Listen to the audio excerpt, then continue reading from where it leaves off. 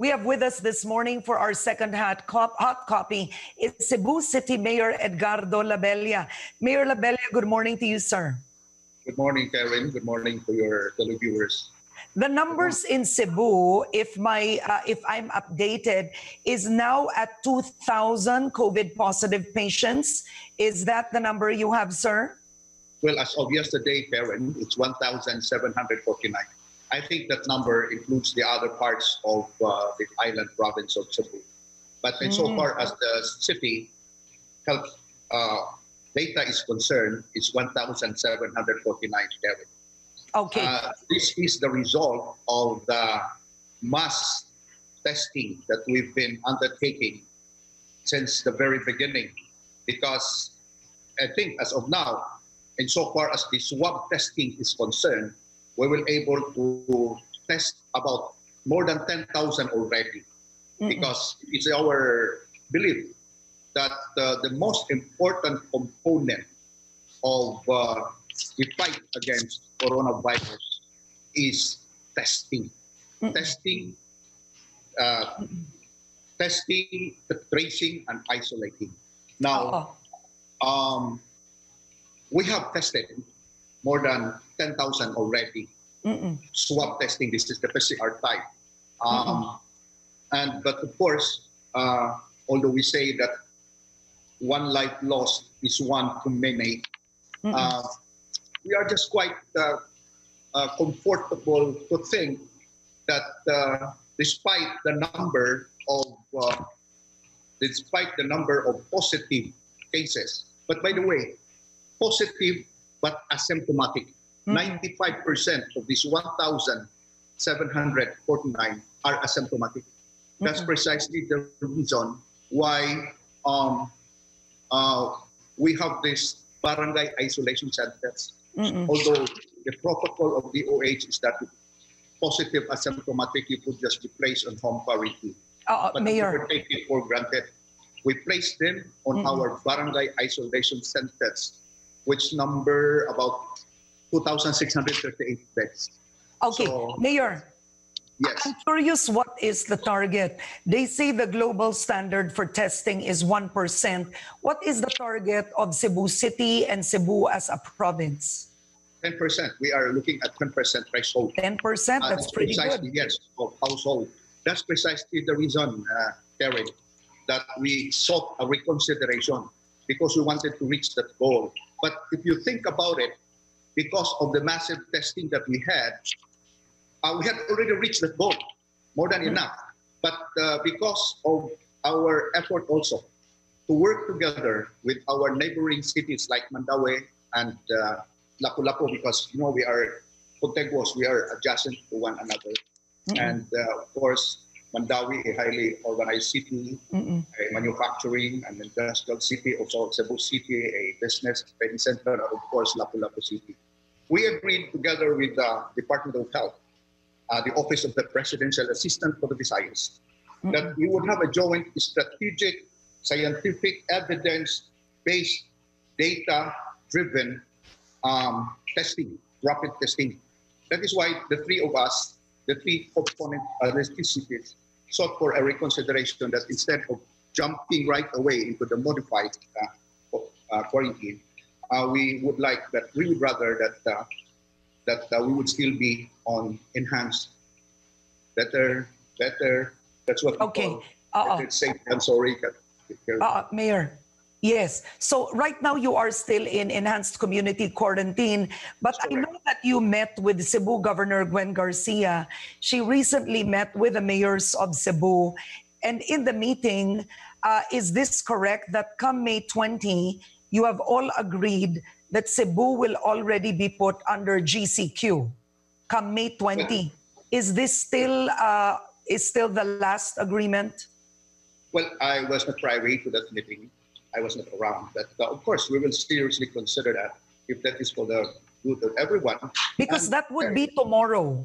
If this was still, if this was still the agreement, it would mean that Cebu will already be under GCQ. Uh, uh, that's tomorrow, already May 20. Uh, do you think Cebu City is already ready to be under GCQ, Mayor?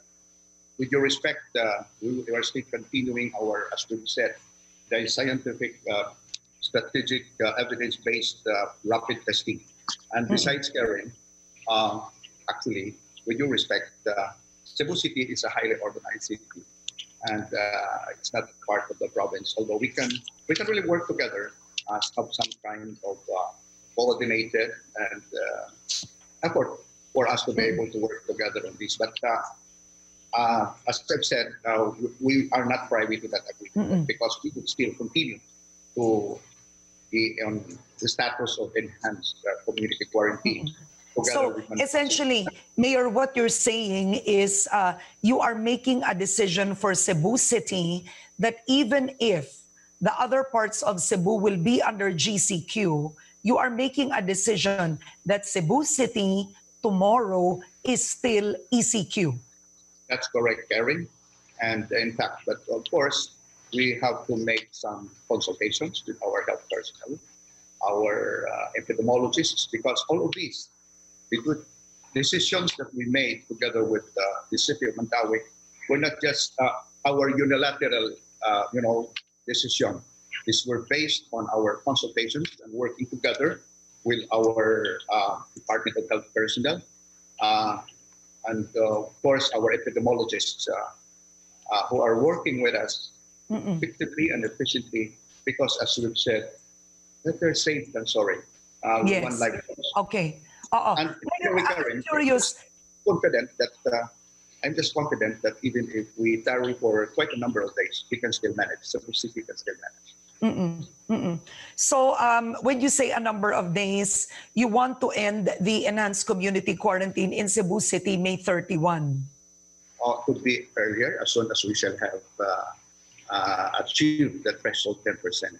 But actually, if you think about it, if we also include the mass rapid testing that we've been undertaking, um, we have already gained that, uh, we have achieved that uh, ideal. But we just have to work together with uh, Mandaue and uh, Mandaue and Lapu-Lapu City because we have this uh, joint agreement uh, together with the Department of Health and, uh, of course, the Office of the Presidential Assistant for the Retired.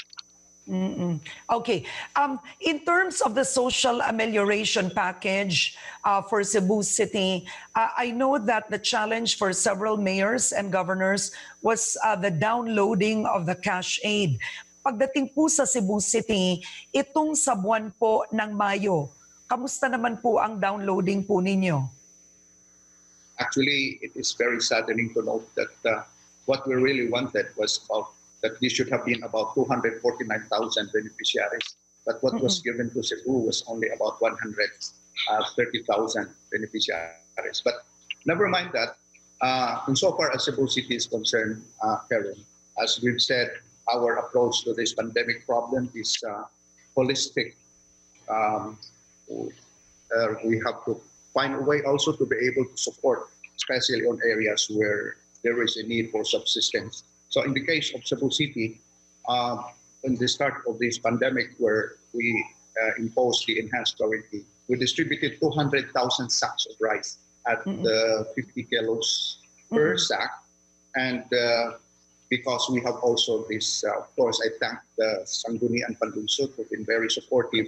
Um, we provided uh, we provided uh, financial assistance because Cebu City has about 80 barangays. For the first 10 barangays, we provided 3 million each. Yeah. And for the next 11 to 40, uh, 2 million each.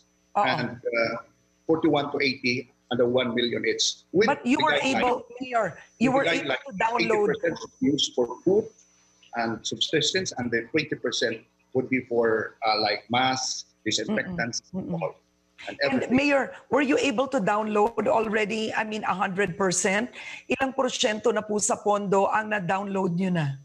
if you check about staff, we have already downloaded to all the other barangays as of uh, April.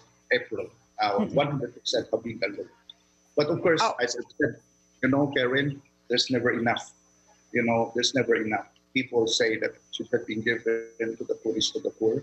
But I think under this present situation, even the below middle class still need the assistance help.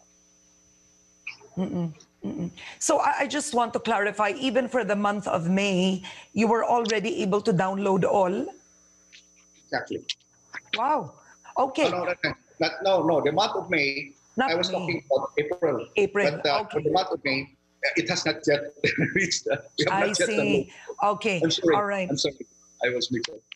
Okay. All right. Well, no problem with that. So, um, anything you'd like to add, Mayor, before we go?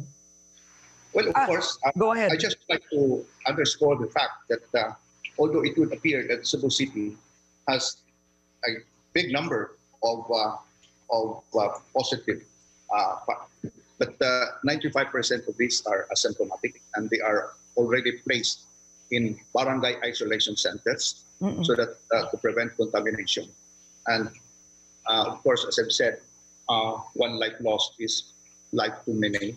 Uh, although it, it's also uh, consoling to think that uh, uh, the mortality rate of Cebu City as of yesterday is only 0.91 percent, because we will always continue the ideal of uh, really uh, fighting this virus, the, this invisible virus, by taking into consideration the three important elements: test, massive testing, trace, and treat. So I Mhm. assure our people in the city of Cebu that city government is doing its best. Okay. Um, um, I wanted to ask you for an update because uh, there's a report that I, I think is it two of your accredited labs are undergoing decontamination. I, I cannot, uh, I am not in a position, uh, but uh, I am not uh, in a position to answer that question. That should have been asked to, uh, been to uh, the health authorities. But Okay. I am sorry, I, I cannot answer that. Uh, All right. very promptly. But uh, I All can assure, I, this is one thing that I would like to tell, that uh, insofar as our positive asymptomatic, they are all placed in barangay isolation centers. Mm-mm. Insofar as our, what we call mild moderate cases, the city is very much prepared. We have quarantine centers. As a matter of fact, we have quarantine centers, the North Reclamation Area quarantine, which has negative uh, pressure equipment. And uh, we have also the other, the Bayanihan uh, quarantine center, which can also accommodate uh, roughly about 800 quarantine centers that can accommodate mild, moderate cases. Mm. As of now, only about six have been placed there, the mild, moderate. And uh, in cases of serious and severe patients, uh, our hospitals are ready. And in fact, the Vicente Sotto Memorial Medical Center, I was just told by the director that they can Mhm. still accommodate 60 to 70 percent. The point that I would like to drive at is that we are not overwhelmed. We are prepared because we made a classification positive asymptomatic for quarantines uh, for uh, for barangay in, uh, isolation centers, mild moderate for our um, quarantine centers, and for the serious and severe for our hospitals. And we All have right. private hospitals also willing to accept patients. On that note, I want to thank you so much, Cebu City Mayor Edgardo uh, Labella, for your time this morning. Thank you, sir. Thank you also, Karen, for the opportunity.